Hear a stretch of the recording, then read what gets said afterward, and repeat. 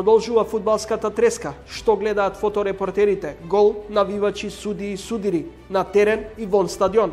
Можеш се да имаш од мечот, ама ако не си во приказната на мечот, си го утнал мечот. Значи, дали е тоа голот, дали е тоа реакција на некој играч, дали е црвен картон, дали е реакција на некој тренер, секој меч има своја приказна. Софија не го отвара коридорот за Северна Македонија. Борисов вели, Раде велаже, дали со својата антимакедонска кампања го маргинализира и герб. Бугарија има проблем со реалноста на постоење на македонска нација и македонски јазик, не од договорот од 1 август 2017 година. Нова изборна платформа на ВМРО ДПМН, кого ќе интегрира лидерот Мицковски, државотворната димензија се исцрпува со македонската идентичност и јасно е дека македонскиот јазик има тоа кохезионо својство за македонските граѓани. ВМРО да помене тука ја гледа својата би рекол цел да ги обедини сите зачестени кадаверични трансплантации на срце, бубрези, коске на срж. Свеста веќе е на се повисоко и повисоко ниво и јас сум апсолутно оптимистичен за блиската иднина дека ќе имаме доволно органи. Луѓето едноставно разбра дека е тоа нешто што што се случува во светот, нешто што е толку хумано. Гледате ново издание на емисијата Трилинг. Добро вечер. Се е во фокусот на Европското фудбалско првенство. Мојот соговорник е фотограф кој речи си три децении ги следи домашните, но и меѓународните настани. Тој е наблюдувач на сите, можеби, европски и светски првенства. Мојот соговорник ја погоди или ја има првата фотографија реализирана со македонската фудбалска репрезентација по самостојувањето на државата со голот на Бошковски Чоко. Мојот соговорник оваа година, за жал, прв пат не се појавува и не е на Европското првенство во фудбал, каде настапува македонската фудбалска репрезентација. За фотографијата направена во 1993 година во Крањ, каде македонската фудбалска репрезентација го даде првиот гол и кој го евидентираше мојот соговорник Георги Личовски. Добре дојдовте во емисијата. Добре ве најдов, поздрав до сите ваши гледачи, благодарам за повикот. Господин Личко, Личовски, фотографија вредна цела енциклопедија ќе речете за голот кој што го постигна македонската репрезентација, а со вашиот објектив го доловивте во 1993 година. Многу среќа имав. а овеј тоа време беше друго, друга технологија, немавме опрема. немавме добра опрема, немавме долги објективи. Отидовме у Словенија, онака, да, добре, јас сум голем љубител на спортот и пратев репрезентација од првиот момент. Отидовме во Словенија и јас имав некој среден објектив и застанав многу близко до голот. Тогаш немаше некој некои стрикни правила како што ги има сега дека не смееш да стоиш ваму или таму, И стоев многу близко до стативата и го даде гол како да е изрежиран за мене.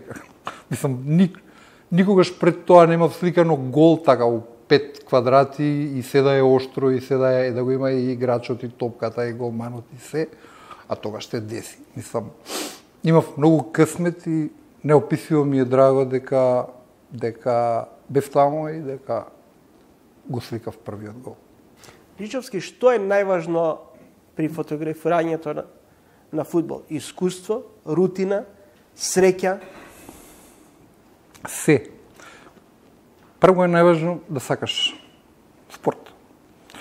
Луѓе има прекрасни фотографии, невидено добри фотографи кои што не може да направат фотографија во спорт затоа што едноставно не ги интересира спортот, не ги интересира фудбалот, немаат однос према тоа. Јас го сакам спортот, од кога знам за себе го сакам спортот, сам работам се, али спортот така, го обожавам и го сакам. За да бидеш добар во спорт, прво треба да влезеш во спортски тим. Треба многу упорност, работа, да се стекне искуство. Треба и среќа. Значи можеш да бидеш најдобар на свет, а голот да падне на другата страна, или играч да застане пред тебе и да не можеш да го видиш голот. Значи, треба и среќа, треба многу искуство, треба да си стрплив, односно, треба да имаш искуство. Велите, и тоа можев и да го забележам во едно од вашите интервјуа, болен сум по спортот, речи си денот го почнував со спорт и темпо, но прашањето ми е конкретно. Што е најважно при следење на еден фудбалски меч? Реакцијата на навивачите, емоцијата, постигнувањето на голот? Секој меч има своја приказна. Можеш се да имаш од мечот, ама ако не си во приказната на мечот, си го утнал мечот. Значи, дали е тоа голот, дали е тоа реакција на некој играч, дали е црвен картон, дали е реакција на некој тренер, дали нешто се случило на овој трибина. Секој меч има своја приказна. И таа приказна е најважна. Секако мислам неоспорно е дека мораш да имаш гол. Веќе голот мора да го имаш, мора да го имаш радувањето. Мораш да имаш не... еден куп работи што едноставно мора да се има. Вие во едно неодамнешно интервју велите најискусните и најдобрите фотографи одат да ги следат мондијалите, светските и европските првенства. Да, да, апсолутно. Мислам, на финале на светско на европско првенство во фудбал не може да влезе било кој. Значи, треба години докажување, работа, за да влезеш у тимот. И тимовите не се менуваат така лесно. Редко ќе видиш млад човек во тимот на големиве агенции. Тоа се луѓе искусни кои што работат години и години фудбал и кои што тоа го имаат во мал прст имаат многу искуство, што кога ќе влезеш на финали на светско првенство, прво треба да а, ве, да сватиш големината на тоа. Честа да бидеш на терен и да го сликаш тоа. Таму се најдобрите фотографи на свет. И ти треба да се такмичиш. Башка работава е многу екзактна. А резултатот од твоите работа се гледа другиот ден во весник. Ако ги има твоите слики во весник, добар си. Ако ги нема, тоа значи дека те победил. Богот Марадона е една од 20 најдобри фотографии во избор на Гардијан. Во избор на Гардијан на светското првенство 2018. Марадона ми беше мене многу таличен, како да ти кажам, имав многу късмет во кариера со Марадона, пошто неколку пати ми се има десено да да го сликам Марадона у ситуации кај што немало други, да душа овдека имаше на стадион сите фотографии беа присутни. Али мој, од мојата позиција цел стадион беше во сенка, имаше зрак сонце што паѓаше на Марадона. А он ги крена рацете и беше така осветлено зракот, а рестото од стадионот беше во сенка. И беше нешто што онака Предко се гледа, онака ние фотографите реагираме на светло. Значи, тоа е главниот предизвик како да го доловиш светлото, како да ја доловиш атмосферата.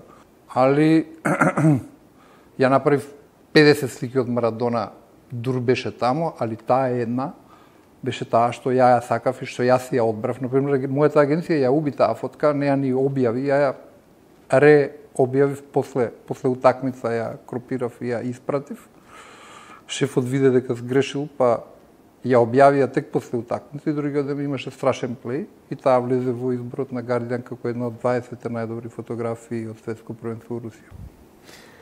Личовски во 2008 на Европското првенство го следите Европското првенство 2008 година, дел од фотографиите за време на тоа на таа фудбалска манифестација ви се објавуваат на насловна страница и доаѓа финалето Шпанија, Германија. Го фаќате голот на Торес, меѓутоа Уште ми се плаче. Половина од главата на Торес ја нема. Не, до тука, мислам. Јас требаше да сликам тоа првенство до четврт финале и да си одам до. Мислам, сликав во Салцбург, спие во Салцбург, слика во Инсбрук и Клагенфурт, секој два дена патував девамо де таму.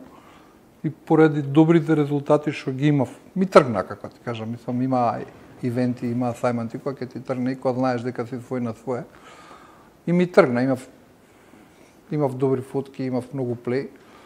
И шефот одлучи, после четвртфинале, одлучи дека да ми ја смени картата и да останам да сликам и финале.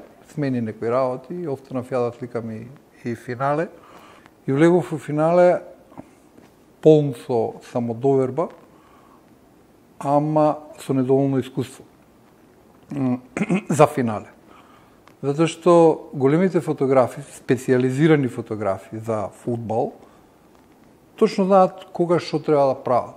Значи, сликаат со долг објектив со 400 мм, али кога се доближи топката до голот, онда земаат пократок објектив за да имаат подобар преглед. А мене ме понесе играта, ја останав на долгиот објектив, топката дојде кај торец, ја едноставно немав време да го сменам апаратот, затоа што едниот апарат стои на монопод, а другиот стои покрај тебе и требаше да го сменам и онда го имаш чиста ситуација. Ја нема време да го сменам, не изреагирав како треба и го сликав торез до пола, како шутира топката. И после утакмица, мислам, не може да си простам, не може да ти објаснам. А, после утакмица, сите зборува, се беше заборавено. Во нашата професија не постои вчера, постои само денес. Што си направил денес? Фотките од вчера ги нема веќе. Ако денеска не направиш добро, онда си ја утнала работата, а ја утнав у финале. И од тогаш, секој што ќе утнеше нешто важно, направивме клуб Торец. Кои фотографии се најпродавани? Што читателот најмногу сака да види? Или работата на новинарот е да ја опише настан. Мојта работа е да ја долувам емоцијата на настанот. Значи, основно во една фотографија е да успееш да ја доловиш емоцијата на нас. Емоција, емоција, емоција. Солзи, радост, тага, емоција, значи емоција. Например, во футбол, сите сликаме акции, во весник големите фотографии се отрадување.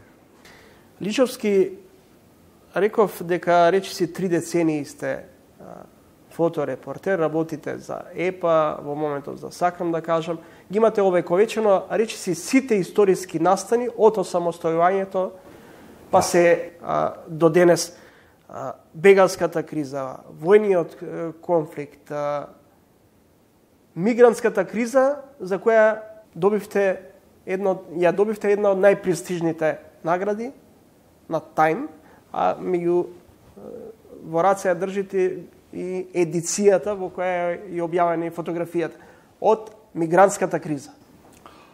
Добро, вака, мислам, мигрантската криза беше страшна, ама мене професионално ми се посреќи затоа што направив две фотографии што ќе останат и долго време од која мене ќе ме нема. А, ова значи, добив со една фотографија, беше прогласена за фотографија на годината на Уницев, овој Time ја стави во 10 најдобри фотографии на светот за таа година. Во Кина добив прво место, во Италија добив прво место на многу престижен овој конкурс. И сето тоа е окей, многу сум среќен ради тоа, али пред две години ми се јавија, две, две и пол години ми се јавија и ме прашаа за дозвола дали може да користат мојата фотографија во една едиција во која што ќе влезат 100 највлијателни фотографии, фотографии на почеток на 21 век. Мислам, рекоа, плаќаме 50 долари, дали вие се, мислам, цената беше смешна, али беше многу престижно да се влезе во оваа книга, затоа што влегуваат само 100 автори со по една фотографија. Од целиот свет. Од цел свет. Јас сум едини од цел Балкан, кој што има фотографија во оваа едиција. Личовски на крајот од разговорот не смеам да коментирам, бидејќи коментар е мојата фотографија. Јас регистрирам се што се случува во Македонија, што мислам дека треба да се публикува надвор. Ви се случило да се соочите со цензура? На секој од нас во Македонија му се случило да се соочи со цензура. Не постои, мислам, не знам во последниве месеци сум надвор малце од редакција едно друго, али секогаш имало некаква цензура во, во медиумите, ми се случило и мене, Ма си имам таа среќа да Јас почнав во 89-та, па до ден денеска. Сум бил присутен на се и се што во Македонија, се што се десило, се што било важно. И можам да кажам дека дека имав многу среќа да и во Нова Македонија кај што почнав, и во Вест, и во Вечер, и така натаму, и така натаму, и денеска во, сакам да кажам, а, се што сум понудувал, поминал. Некогаш имало и карање, расправање со уредници, со едно со друго, али ове, јас сум успевал да подпуштам она што што мислам дека треба да оди на насловна или као главна фотка за илустрација. Сум имал среќа да работам со професионалци, поголем дел од животот. Личовски разговорот ќе го завршам со уште еден цитат од ваш, ваша оценка поради политички рекет и лукративност ја продадоа професијата. Дали фоторепортерот е професија во изумирање? Во Македонија дефинитивно да.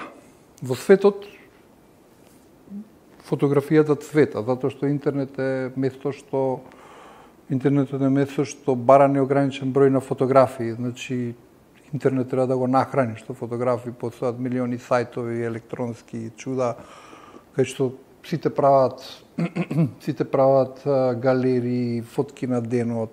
И потребно е фотографија и фотографијата цвета во светот. Во Македонија бевме повеќе од 40 кусур фотографии во златната доба на македонското новинарство, тамо некаде 2000-та со појавување на вест, на дневник, на утрински, имавме вестници, имавме статус, имавме и плати. А, во моментов ја мислам дека немаме повеќе од 10 фоторепортери кои што се на плата. По Македонија се уште сите крадат, не се поштуваат авторските права. А ове тие неколку портали и вестници што плаќаат фоторепортери, а ове безуспешно се борат, затоа што имаш преку 200 портали кои што безмилосно крадат. До не се реши тоа, до не се реши бесплатното дистрибуирање на фотографии од, од власта докато не се решат авторските права, ако не се решат, нашата професија озбилно загрозена да исчезне. Ви благодарам за гостувањето во емисијата. Во преговорите со Бугарија ние пристапивме на еден начин доста неподготвени, подценувајќи ја бугарската геостратегија, геополитика и емоција кон поимот Македонија дозволивме да подпишеме договор кој што на една страна го фаворизира бугарскиот патернализам кон поимотите под имот Македонија, со вметнувањето од нивна страна предлогот на општа на бугарски јазик или заедничка на македонски јазик историја.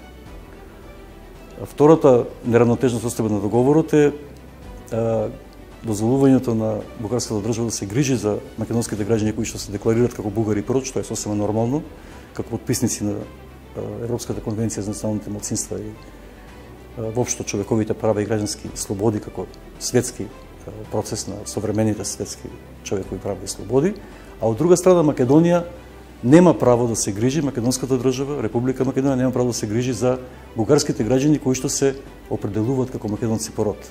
Бугарија има проблем со реалноста на постоење на македонска нација и македонски јазик, не од договорот од 1 август 2017 година, би рекол дека е пробудена, не би рекол дека се врши притисок на нив, но со последниве три последователни трансплантации можеме веќе да кажеме дека свеста веќе е на се повисоко и повисоко ниво и јас сум апсолутно оптимистичен за блиската иднина дека ќе имаме доволно органи.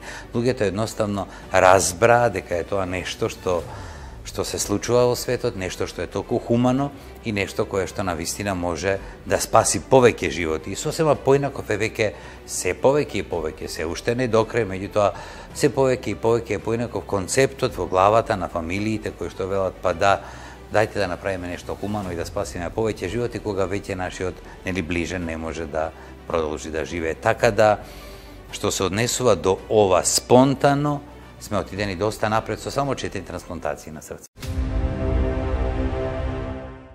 Следите Трилинг. Денове се одбележа 31 година од формирањето на ВМРО ДПМН. Во исто време, нема Абери од официјална Софија дека ќе попушти во однос на давањето зелено светло за Северна Македонија за почеток на преговори. Очигледно дека владата во Скопје ќе ја гледа својата надеж на следниот самит на Европската Унија, а тоа е во октомври, за време на словеничкото председавање. Надежите сепак велат дека не се изгубени, но очигледно дека ќе треба да се причекаат уште неколку месеци.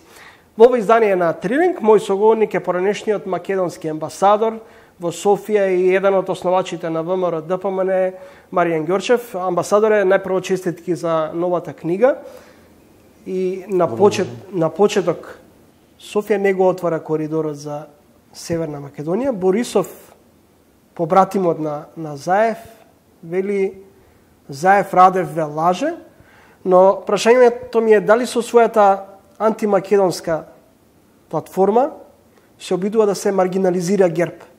Тоа е тешко прашање.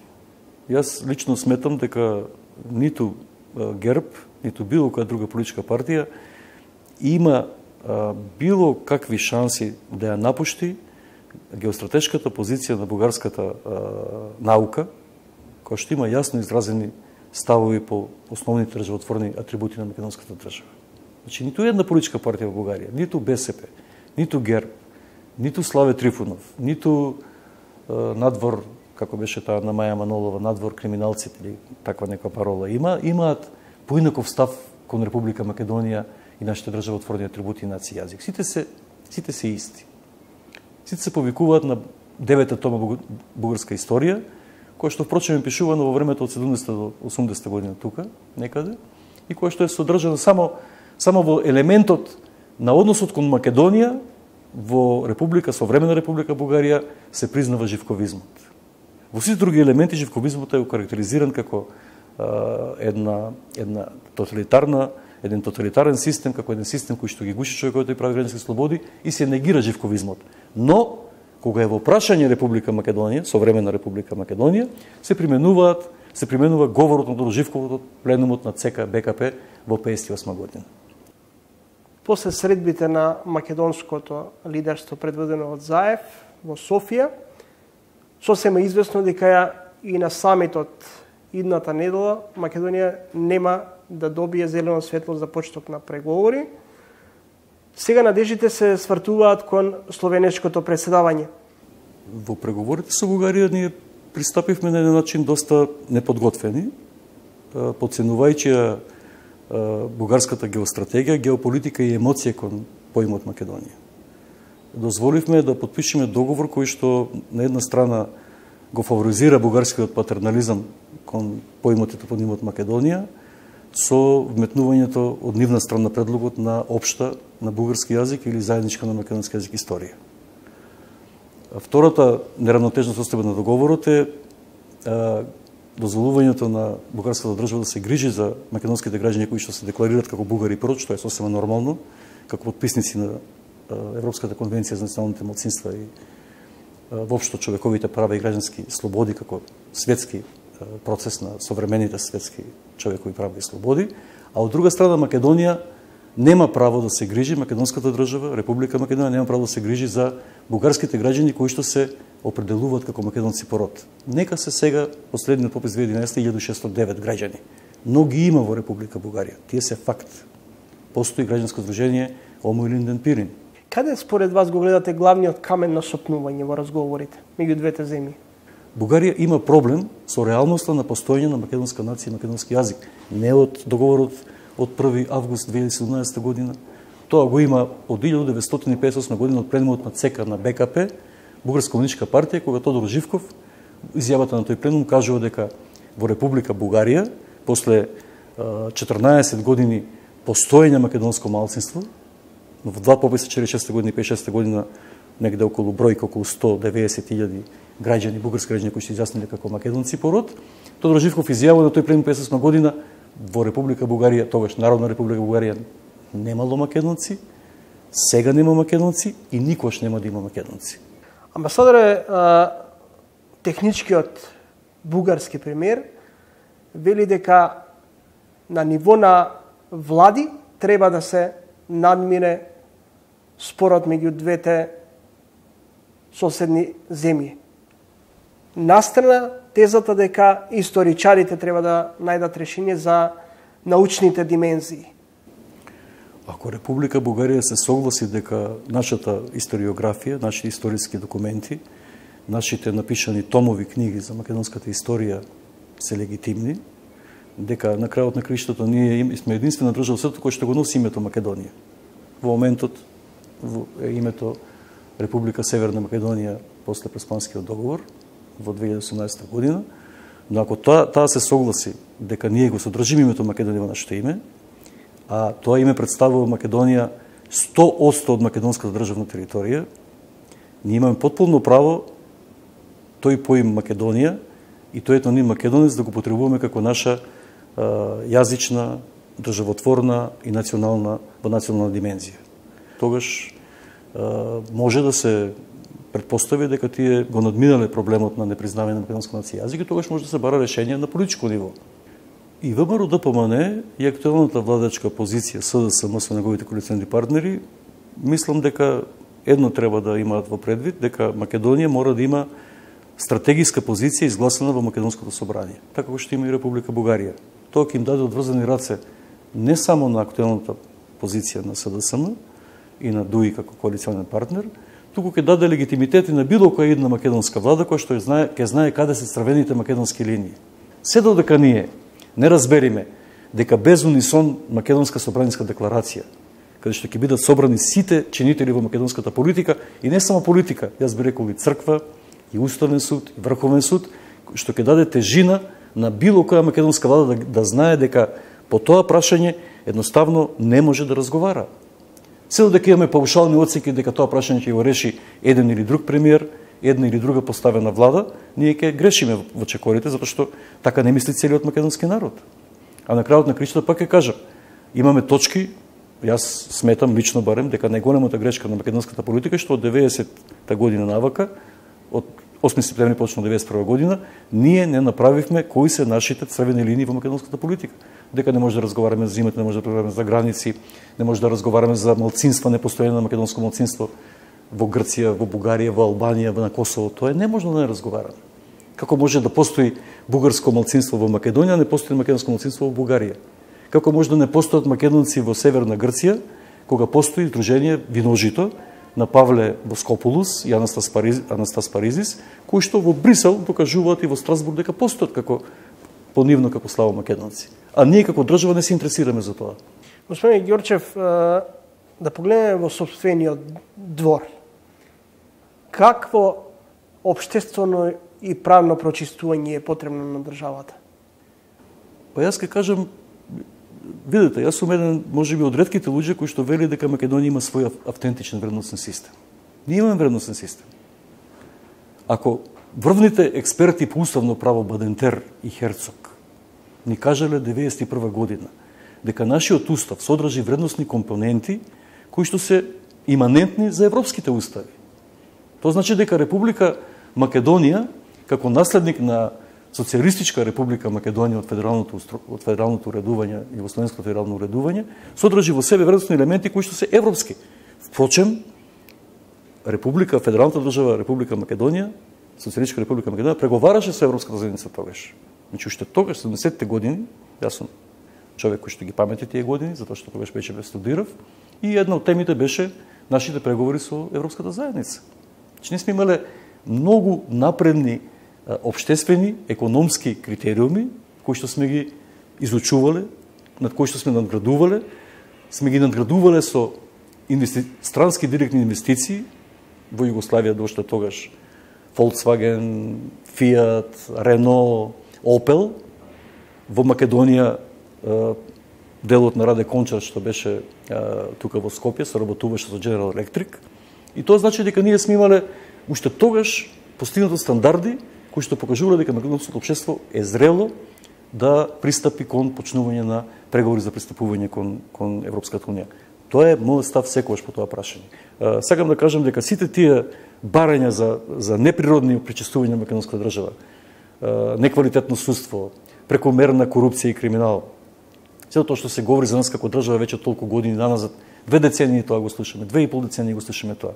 Пак ја кажам, ако ги погледаме реперните точки со Албанија, Бугарија која што е членка на Европска унија, Романија, Република Македонија далеку пред нив. Ако не е членка на Европската унија, само кандидат членка без датум на преговори. А дека треба да има реформи. Реформа, но реформа каква? Да го направиме македонско судство независно. Да го направиме македонско судство независно со свој судски буџет, со свој винителски буџет, таксите кои што место додат у владата, а владата да дава извршна, извршната власт преку буџетот да одобрува колку треба средства за македонско судство, обвинителство и, и да, јавно правопреднителство и сите институции во тој правосуден систем, да се задржи само делот на Министерството, а сето друго да оди како независен буџет во, во правосудните органи кои што работ, така да речам, на терен, кои што се среќаваат со граѓаните. Е тогаш ќе имаме ние вистинска реформа. А не реформа дека сега судството е неквалитетно, носи неквалитетни одлуки, а никој не знае дека е, македонските суди решават по 400 предмети годишно во 260 работни дена, Колку време има тој македонски судија да ги прочита тие предмети, 400 предмети во тие 260 работни дена? Колку случаи со работници има? Колку компјутери има на располагање? Дали може од дома има токен да дискутира, да, да го превземе предметот и да може да работи од дома? Значи, тоа се реформите во нашето, а не персонални реформи, не чини е, именно тој и тој или не чини тој и тој, затоа што ние сметаме дека во даден политички пресек или дадена политичка гарнитура тој не е соодветен човек за вршење на таква функција. Тоа е моето мислење и јас сум непоколебливо убеден, непоколебливо сум убеден, дека и во овој момент сега како што сме ние, Република Македонија, пак ќе кажам, е на исто ниво, еве да не да кажем еве со дигнитет и почит кон Република Бугарија и Република Романија, ако се членки на Европската унија, не сме полоши во било која анализа на делот во делот на институционалната институционално македонски вредностен систем. Во делот на тоа што го примат Република Романија и Бугарија како структурни фондови за развој, неповратни е, средства во милиарди евра, јас кога бев амбасадор во, во Бугарија направив еден пресек, за од 2007 година до 2020 година Република Бугарија има примено 9 милиарди евра неповратна помош. Ние од 2007 до 2020 година нашите моите податоци кои говорат за користење на ИПАРТ фондовите за развој на разни сегменти имаме примено некаде околу може би не повеќе од 100 милиони евра за овие за овие 14 години две два циклуса, два седмогодишни циклуса на европскиот буџет за структурните фондови. Амбасадоре Но тоа е мојата оптимистичка горест, тоа е мојата оптимистичка проекција за Македонија. 31 година од формирањето на ВМРО ДПМН.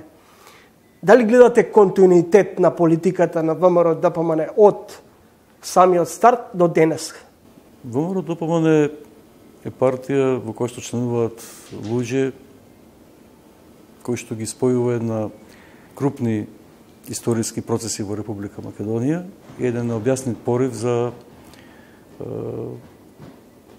необјаснит порив кон една идеја која што е истовремено и национална и космополитска. Национална во смисла независна, суверена слободна македонска држава и воскликот на првите парламентарни избори октомври ноември 90 година Воскресни Македонија, тоа го кажува, но таа истовремено тој лајт мотив Воскресни Македонија означаше и стремеш кон еден космополитска димензија на Македонија, тоа е членство на Република Македонија во како независна суверена држава во Европската унија и НАТО. Тоа е прогласот на основачкото собрание на ВМРО ДПМН 17.6. утре тој ден 90 година во Младинскиот дом 25 мај во Скопје најголемата опозицијска партија излезе со нова платформа Македонија за сите граѓани.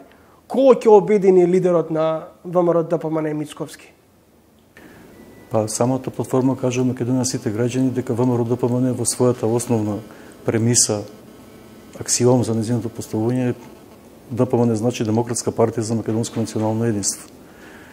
Македонија како поими топоними, Македонија како етноним македонец. Македонец во смисла Јасно е дека во Македонија државотворната димензија се исцрпува со македонската идентичност и јасно е дека македонскиот јазик има толку хезионно својство за македонските граѓани. ВМРО да помене тука ја гледа својата, би рекол, цел да ги обедини сите граѓани на Република Македонија во една, би рекол, посветла перспектива на хоризонтот, на македонскиот хоризонт. Амбасадоре, велите дека стратешките правци на ВМРО ДПМН од самото формирање беше членството во НАТО и Европската Унија. Но зошто најголемата опозицијска партија сака и предлага ревидирање пред се на договорот со Грција, преспанскиот договор и договорот со Бугарија? Ако НАТО и Европската Унија се стратешки цели. Уставно гледано, тој договор е невалиден од уставната димензија. Значи, ако имаме правна држава, ако rule of law е системска тенденција на македонската држава, тогаш преиспитувањето на тој договор има пред се е, е пред се во насока на уставната, уставноста на тој договор и дали тој договор е во склад со уставот на Република Македонија. Тоа е јасно. Значи, ако некој распишува референдум, треба, треба да почитува волјата на македонските граѓани за кои што единствено постоиме како држава и кои што единствено ни дават легитимитет да решиме такво крупно прашање дали треба да го смениме името или не треба да го смениме. И што друго ќе смениме освен името во тој договор. Зарем придобивките од членството на во НАТО и Европската унија кои беа главни столбови на еден од основачите првиот лидер на ВМРО да ДПМ Липчо Ѓоргиевски не се доволни Придобивките на НАТО ВМРО, ВМРО ДПМН беше партијата во, кое, во чие што време се случи стратегиското партнерство со НАТО 99 година. Ние сме стратегиски партнер со Соединените Американски држави, не со НАТО, простете. И чинам дека тоа стратегиско партнерство со Соединените Американски држави ВМРО ДПМН докажа за време на практикувањето на извршната власт во 2008 година дека бевме подготвени да станеме членка на НАТО, но само заради непринципиалноста на меѓународната политика кога се една непринципиалност која што е класика на една неправда кон нашата држава во Букуреш и покрај интервенцијата на американскиот председател Буш помладиот, нас не беше оневозможено да станеме членка НАТО што во 2008 година, уште тогаш ги исполнивме сите критериуми за НАТО членството. Кога го споменувате Букурешкиот НАТО самит и тогаш двоецот Црвенковски и, и Груевски беа подготвени да го прифатат предлогот Северна Македонија. Да, но само за надворешна употреба.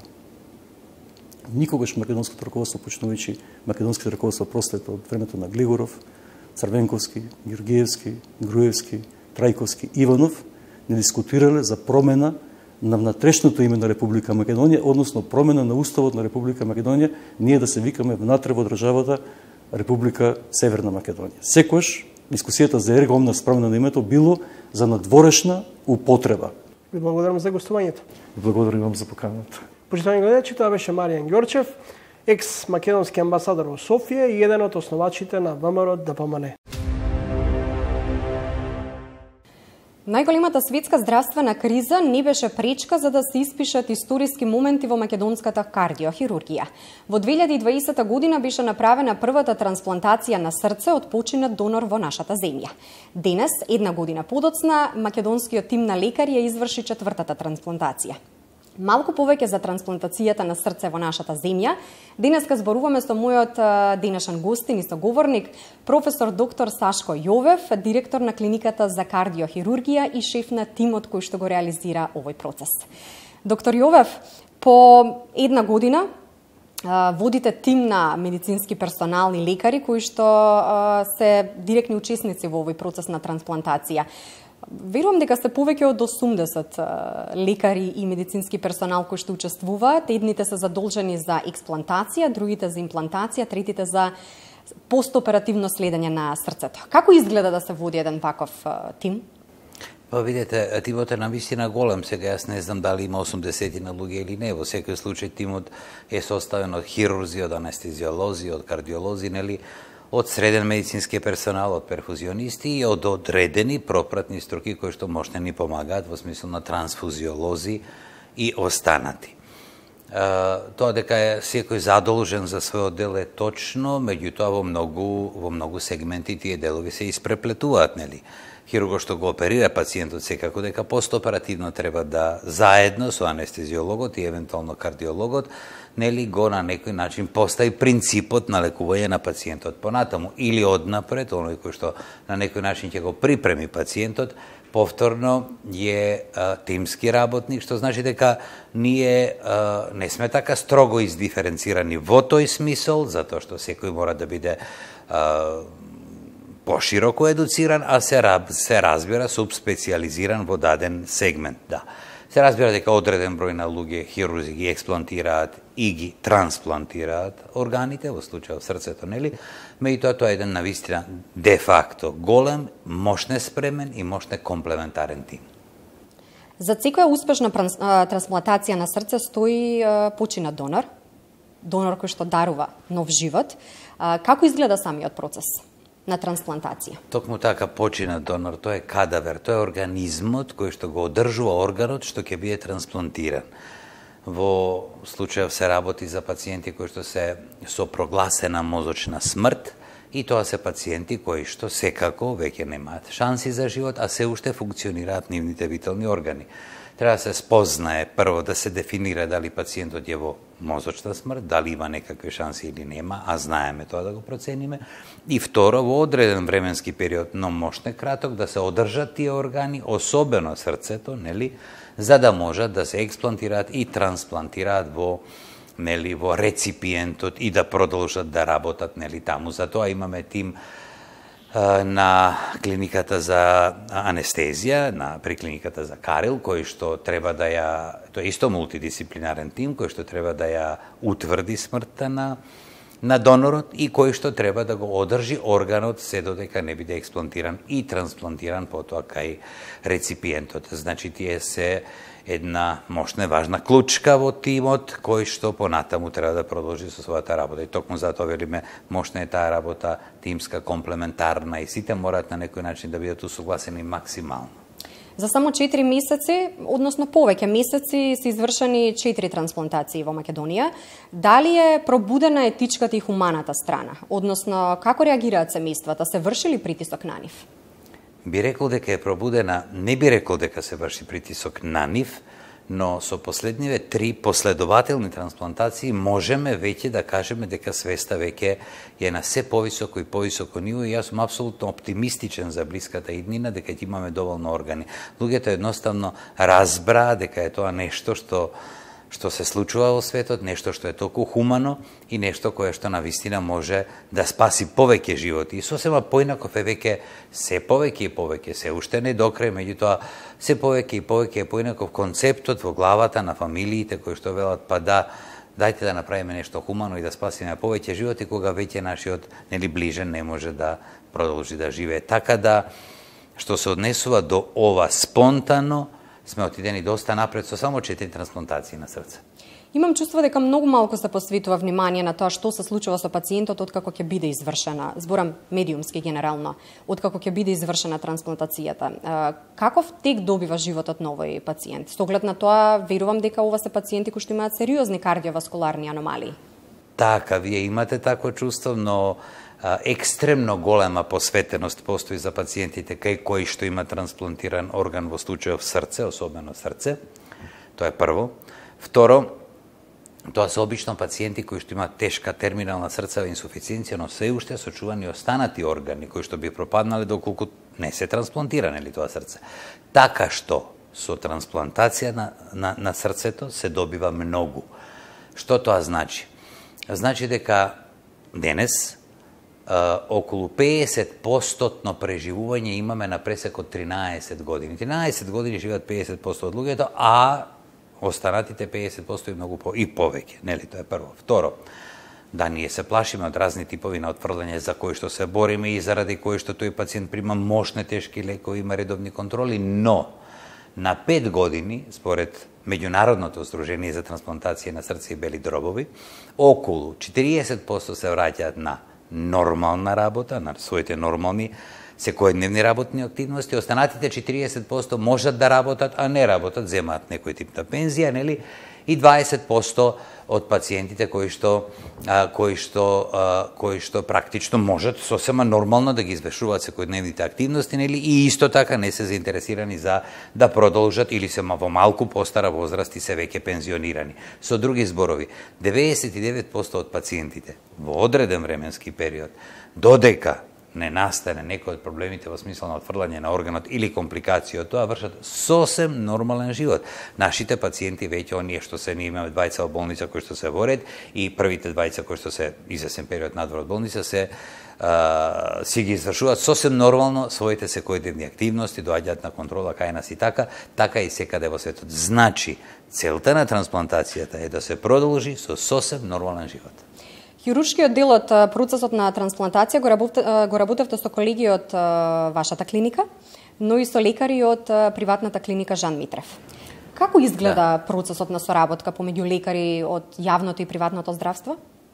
Па да, а, токму така, а, трансплантациите ги вршевме на нашата клиника, на Университетската клиника за кардиохирургија и колеги, неколку колеги од приватната болница Жан Митрев дојдоа, со кој што работевме заедно и практично таа соработка, како што во повеќе наврати кажав, беше сосем професионална, спонтана, секој го знае својот дел од работата, однапред е договорено кој што ќе направи, нели, кој што ќе работи, така што практично немавме никаков проблем и мислам дека на вистина се излезе добро.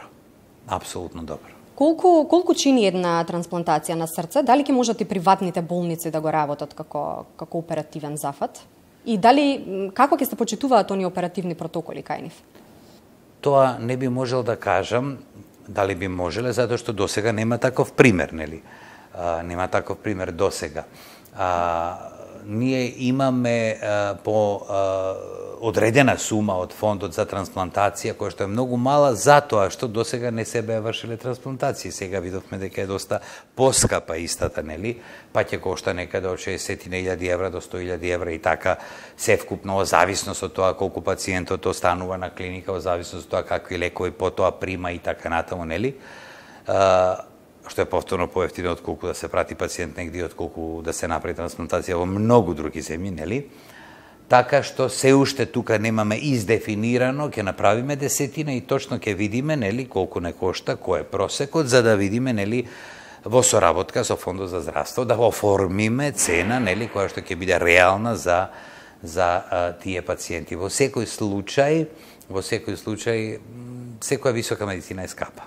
Во светот расте трговијата со органи, особено од а, живи донори.